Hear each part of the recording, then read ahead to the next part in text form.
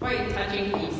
Now, we'll have the DJ guitar quartet consisting of Eric, Cindy, Tom, and Doris, presenting to you the cheerful and upbeat Toccata, composed by Gaston Rolland. DJ, please.